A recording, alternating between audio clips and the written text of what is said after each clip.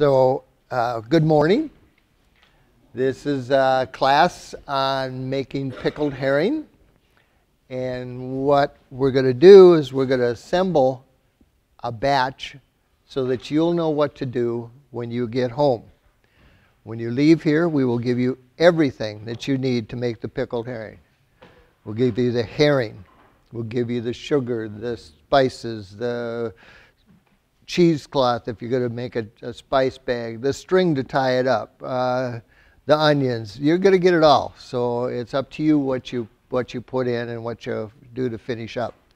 Um, there's a, quite a few different recipes out there, but this recipe is from Glenn Kensmo. He used to do the classes here, and uh, it's a good class, so we kept it, and we're doing the same same one. So make sure you take a recipe home with you with the rest of the stuff. Uh, if you just signed up for the class, take a recipe. Um, let's see, I'll go over the things that you're going to need to, to start. You're going to need a quart of vinegar, which would be two small pints. Okay, but we're going to send you home with that. And you need the pickling spice, and we buy it by bulk and then we measured it out and everything and that's how you're getting yours in a, in a bag. But it would take two of these okay to make that uh, amount. And then on the bay leaves probably the small one but i don't think it comes in a small one because you're going to end up with like 20 you know uh, bay leaves in there. You only need eight or ten or something like that so uh, then your onions. Now, on your recipe, it says four large onions. Well, that's before they came along with Costco and everything, and you got the gigantic onions. Uh, I've never used more than three. And this time, I'm here's what I cut up, and here's my leftovers. I'll probably go home and make some soup or something with the, with the leftovers. Uh, and then the herring. The herring is an Atlantic herring. The herring we get here is not, the waters aren't cold enough. So make sure if you uh, are going to order it on your own, get the uh, Atlantic herring. Most butchers will order it in for you or tell you where you can order it from. Uh, it's not that hard to come by because they get fish into Safeway, QFC, and all that stuff into their butcher shop. So if you talk to them ahead of time what you want, they'll see that you can get it. So it's not that hard to come by. The, as I said, the herring that we get are in sections, you know, uh, all cut up uh, into like cubes, inch by inch. They come in long strips. A fillet will come out in a long strip. You, what you get is going to be in the cubes, all cut up for you and everything else. But sometimes if you order it from a butcher or whatever, you may get the fillet. Then you just got to cut it up into the section that you want. On the recipe, it says for the onions to slice thinly. I cut mine a little bit different. I cut it about the same size as the herring is, so that when I'm dipping in with a toothpick or whatever, I can grab a piece of onion and a herring, and I got everything, everything there all at once. If you don't like the onion, it's easier to pick out and get away. Um, we use yellow onions. Um, you can use the red onions. No, don't use the red onions. but if you do, it'll turn your fish and everything pink. Yeah. So, uh, so if you don't want white, it pink, whiter, white onion. White or yellow onions. The Walla Wallas are a little sweet, but uh, it, you, you, you can go along with that. But yeah, like you said, the red onions we gave out one year because it was festive. We thought we would have a good time. And it, uh, they, everything turned red, and everybody was a little thought maybe they did something wrong, you know, when they when they got home. Um, I do have some uh, uh, herring here that has not been soaked Nothing has been done with it except for taken out of the bucket and I sliced up some little pieces and that you can try. It's quite salty, so Seth, if you want to take that around and uh, And uh, if, the, if you want to try it, go ahead. If you don't want because it is, it's very salty. And here's some napkins if you want to spit it out. And Mike, how is it preserved? Salt is what is preserving. That's why it is so salty. Uh, it's um, they didn't have refrigeration many many years ago, and so they had to do many many different things to preserve items. Uh, uh, we had a lefse class last uh, weekend, and that was part of lefse was part of preserving potatoes. You'd have leftover potatoes, and if you, they had no refrigeration, so if you left them on the table th- that next day they were not any, good. So if you took a little flour and mixed it into and rolled it out, you already had a hot stove, and threw it on the stove and cooked it. Now it's going to last you for five, six days. You know, just laying out. So kind of a way of preserving everything. Well, salt is one. Dried is another. They had dried fish. They'd have uh, uh, dried uh, lamb and they would they would dry it out, put it out in the sun, hang the fish on the on the clothesline, uh, and it would uh, dry and make it, or pack it with salt. And they packed a lot of meats and and uh, uh, uh fish and stuff to preserve it. Now lutefisk is a different story altogether. Preserving that, they did it with lye. So uh, you do the same thing. When you get it, you soak it and you soak all that stuff out of it, and then you got a, an edible item that you can uh, that's been reconstituted. Uh, so uh, it's quite. So how was the uh, the hair? A little salty for you? Uh, the kids liked it. They said uh, no. Okay. um, so you soak it for oh two hours, hour and a half to two hours, and then keep turning the water off and then fill it up again, soak it a little bit, and then pour it off, and then soak it a little bit, pour it off. But it, it, and then let it rest in between the time. And about an hour and a half, two hours, you should uh, pretty well have most of the salt out. Yes, sir. Is it, is it pickled herring ever made with fresh herring? Uh, you wouldn't have the salt in it. You wouldn't have the flavor of the salt, and you wouldn't have any preservative in it. The salt is what preserves it plus the pickling that we do. Because basically what we're doing right now is we are making refrigerated pickles. Anybody do them? And they usually, with making them with cucumber, will last you maybe a week in your refrigerator. Well, what happens there is it has nothing to do with the brine or the pickling. It has to do with the cucumber. Okay? So the things that you put into your herring, which is already preserved, it would last you two years probably in the refrigerator the way it is right now. Okay? Um, and with us washing some of the salt out now, we're taking some of the preservative out of it, but we're pickling it, which is adding some of it back in. So if you took and put instead of onion. Now, the first thing that's going to break down is the onion.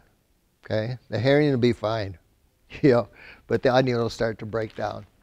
Um, if you put cucumber in there with it, you'd probably only last you about a week, you know, and then you'd be done because cucumber breaks down real fast.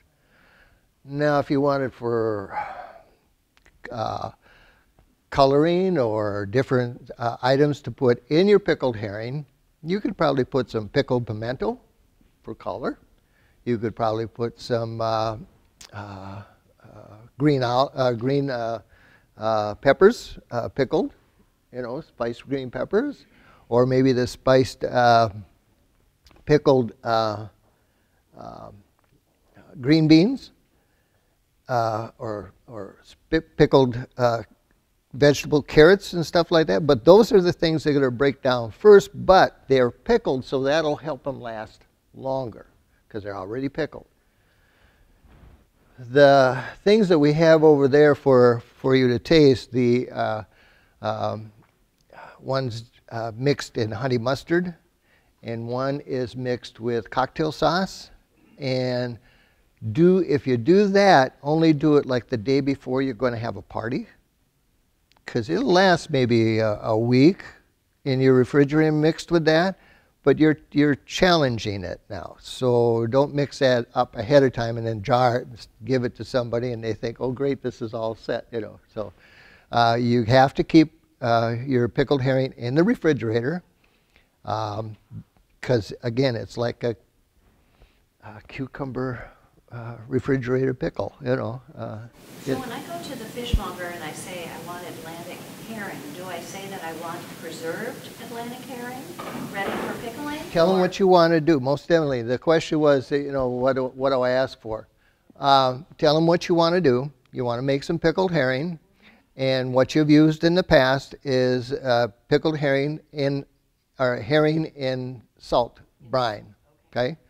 And because we we get it by the five gallon bucket, and then we broke it down to five pound uh, packages for you to take home, and the recipe is to match the recipe that you got.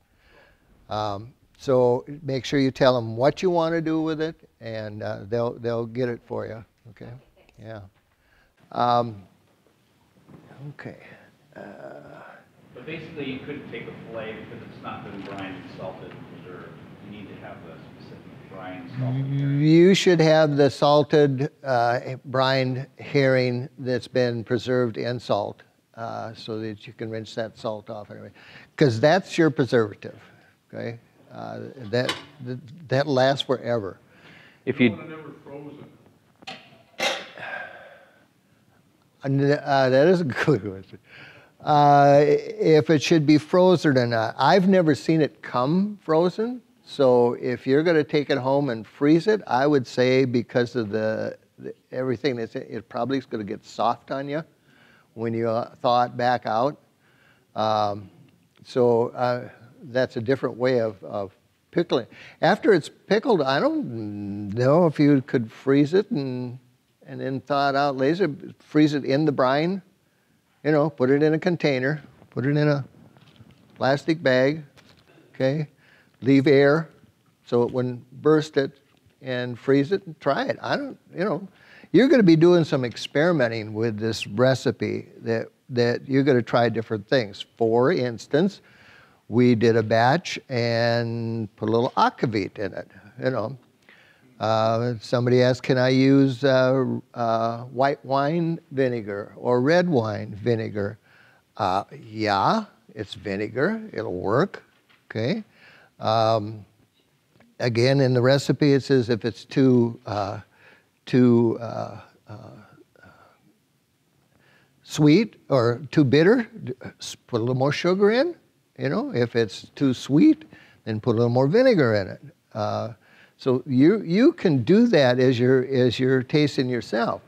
you can taste the brine as you're cooking it to see if you need to add more of a particular ingredient in. It's not going to hurt you.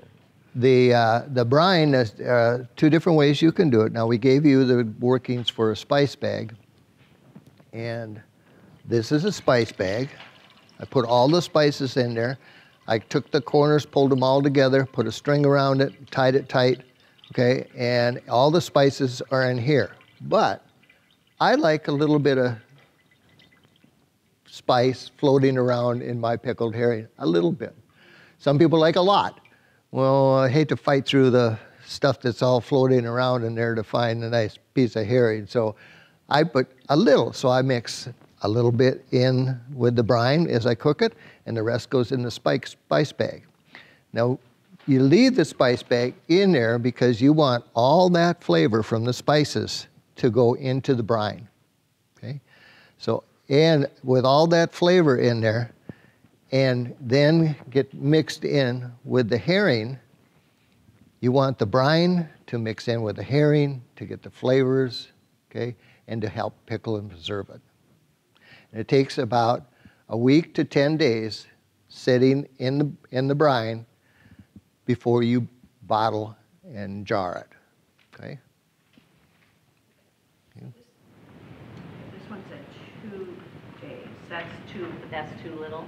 Yeah, well, yeah, the, the, the, more it sits in there, the more flavor melds into the rest of it. So, um, uh, you know, you can do it within the, say you want to give away some for Christmas and you're rushed.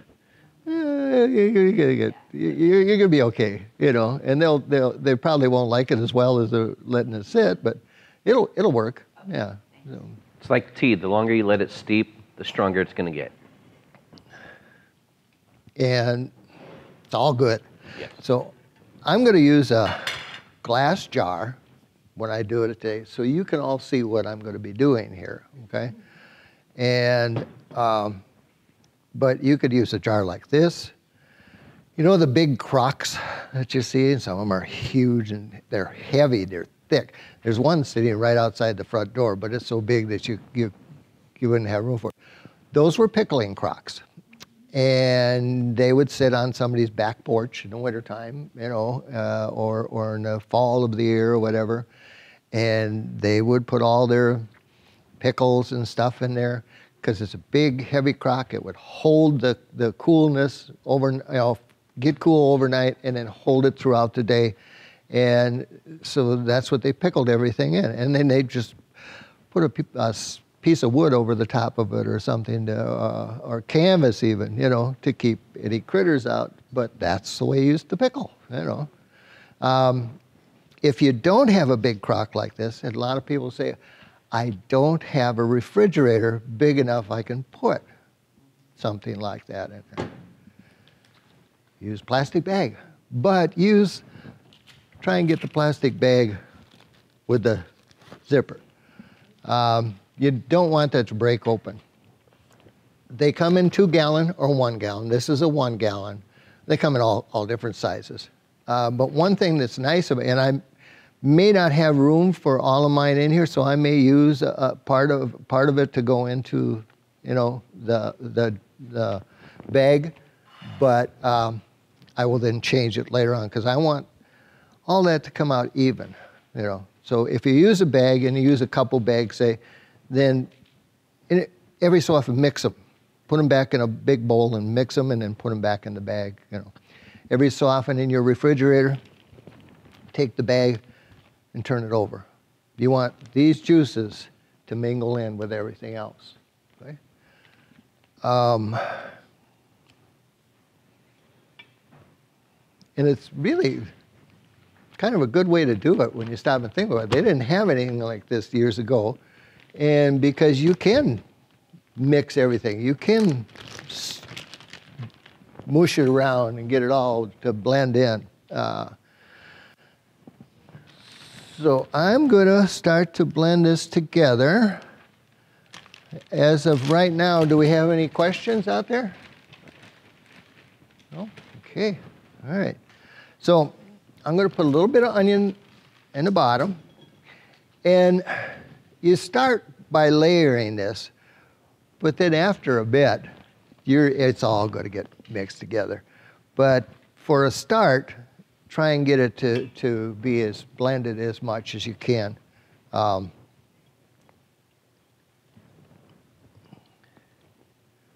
now, this has all been soaked for about an hour and a half, water drained off. Um,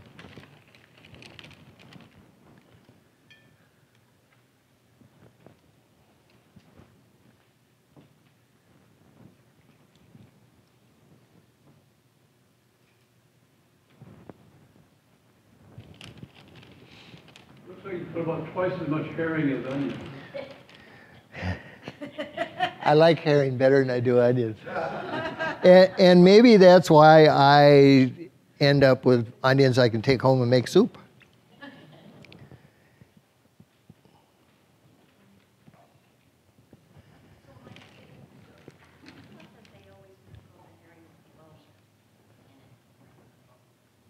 The herring with the bone in it.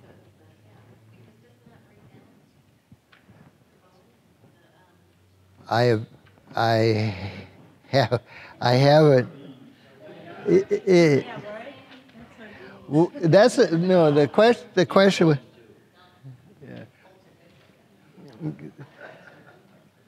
Um, the question was the herring with the bones, and I, I haven't had with the bones. Uh, but I, somebody else then mentioned sardines.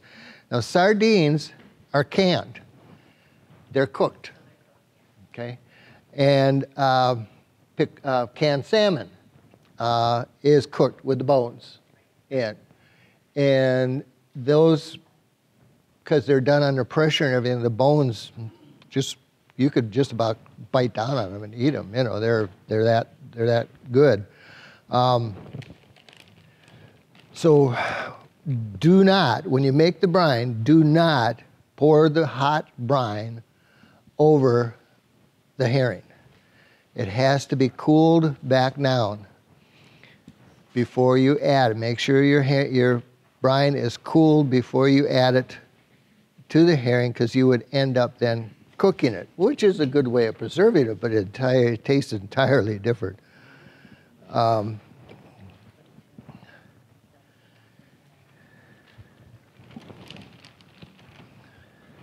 What do you do to keep it from getting soft? Keep it nice and firm. well, the pickling, the vinegar in there and everything, the pickling is going to help. Um, and part of it is the preparation, the soaking, um, but age is what is making it soft. No, but, but what do you do to keep it firm, not soft? Well, when you first do it, it's going to be fine and it's not going to be soft. But then, uh, in say uh, two months' time, it may start to get soft. That just eat faster.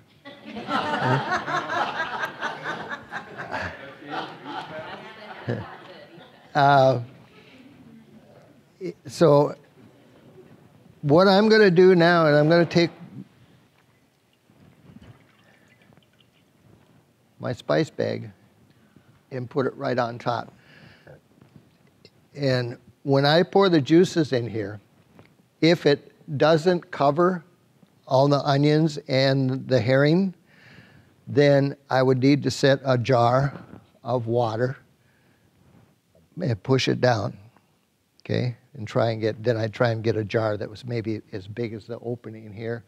If it's not, if it's, if it's a, like this, I would take a pie plate or whatever, sit it in there so it would push everything, and then put the bottle of water on top of it to push everything down to keep the juices covering the herring and the, the onions.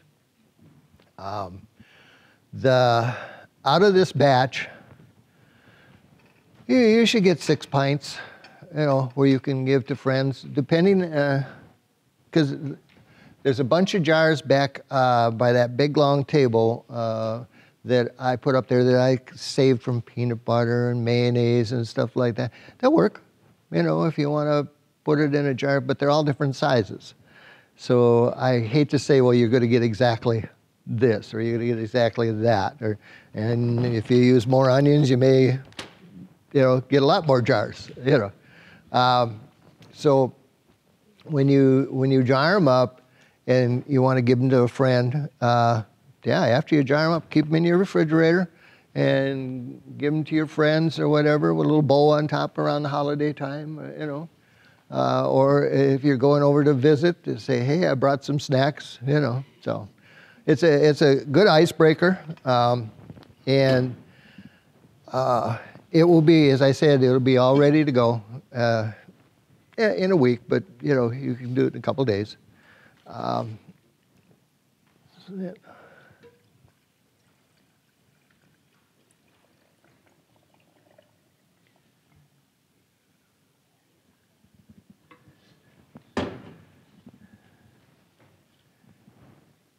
Now I've got quite a bit left here. So I'm going to take some of the spices so they'll float around in there.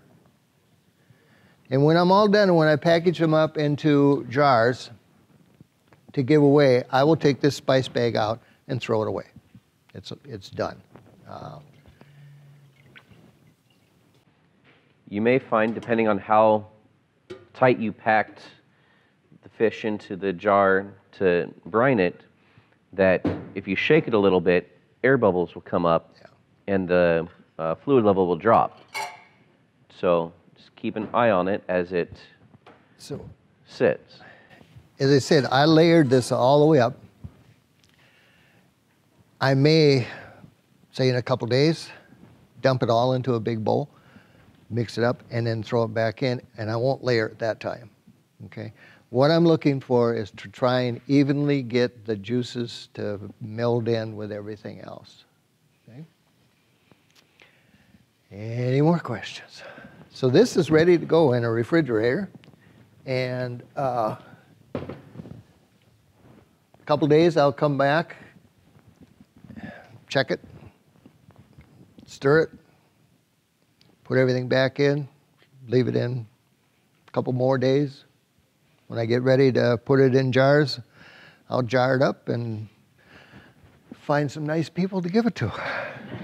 Now, when we buy them in the store, the jars are, of course, all sealed. Yes. Um, So we don't have to worry about the canning process or anything like that. that Well, those one, those you find in the store, they're all sealed, but they're not canned. They're not canned, so No, no.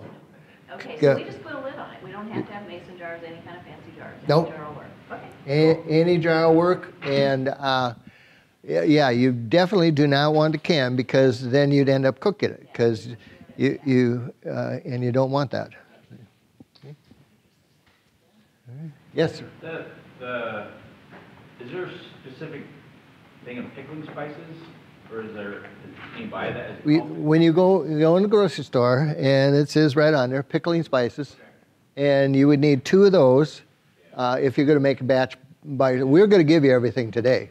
You know to be all set with that. Um, but uh, if you're going to buy more or whatever, you would need two of those. You would need two, uh, well, enough to make a quart. Uh, you can buy you can buy a gallon and you know mix it up. Because that would be This, Mike, this says eight tablespoons of pickling spices. yeah. That looks like a lot more, two of those. No. We, we've actually measured it out, and it takes two of these bottles. So that's four tablespoons? Yes.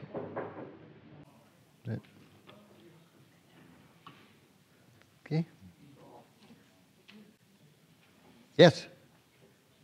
Uh, last year, I got 11 pints. Really? Yes. Wow. I don't know if I, I don't think I added more onion. They- eh, great. Yeah. Yeah. Because the onion's good pickled like this, you know, and it it's going to be the first thing that really starts to break down and start to get mushy will be the onion. Uh, any anything you put in there will break down before the herring because the herring has been preserved in salt and you know the moisture is what's going to make it soft you know. The the water that we put because we did put some water in there uh, and so that's what is, what's going to start to make it soft. And the amount of jars you get out of it is also dependent on the size of pieces that you have and how tight you pack it in. If you really stuff it in there and pack it down, you're going to get fewer jars. But if you leave it fairly loose, you'll get more jars out of it. yeah I- now i have some brine left over here you know so uh, um, if uh, i had more onion in there i'd probably have more brine left over Uh, okay Eric? Basically, as it stands now, you can pretty much do your jarring, and you're gonna have herring all year long, because it's gonna last until the next Christmas. Well, not me. Well, mean, Yeah. It will, it will, it won't last me as long as, uh, well, I give quite a, quite a bit away too. Uh, uh, but both my girls this year are making their own herrings, so uh, uh, I won't have to give so much away. It'll be more left for me, so. Uh, So when we jar it, do we jar it with the brine? You'll jar it with the brine, but not the spice bag. Okay. Spice bag you'll throw away. Yeah. That, but it should stay in there. And it- I leave it in there as long as I can, you know, and then from that point on. And that's why uh, little pieces of stuff floating around with it, not too bad, you know. It, it, it, it it's kind of a surprise once a while you bite down on a peppercorn, you know, you know, it kind of wakes you up a little bit. Um, but uh, yeah, it's it's all set to go. Um, so my batch is done. Hey, I got nothing. How long have you left it in the refrigerator now? One to two days? Have you gone up to like a week or? Oh yeah, it it it it's the same as if you pickled it separately in jars. A stronger spice to it the longer you go out, so you can probably Mm, after that point, you're pretty well. Yeah, yeah. Um, after after two weeks, there's no sense of pickling anymore. It's soaked up just about everything it can. Um, Tell them about the special one. the akavit. I mentioned it earlier. Uh, anybody know what akavit is? Okay. Well, we got a lot of hands go up on that one. So, so what we did is when we filled uh, uh, the jars, uh, we put in only j- juice of half full, and then we put akavit in the rest of it, and it was quite flavorful. Uh, a- and hey, uh, the juice is good on its own. Well, with a little akavit in it, it's probably just a little bit better with a little shot glass of that, you know, because you can still drink it. It's alcohol in it, you know. So, um, yeah, it, it was pretty tasty. The only other thing to mention is what we were talking about. I was in Sweden visiting relatives in April, and they had their crop, their small crops where they were making all of this. Yeah. And one of them he made was really, really good. It had citrus in it. Oh, I bet, yeah. in slice just the skin. Okay. He, it just really small slices, really, Okay. really thin of lemon and lime, and it was just. Um, I would stick to the peel.